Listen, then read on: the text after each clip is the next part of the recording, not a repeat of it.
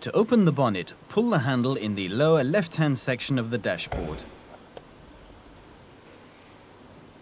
Once the bonnet is open, with the ignition off and the engine cold, you can access the engine compartment to top up. The coolant, windscreen wash fluid, engine oil and brake fluid. The battery does not require any maintenance.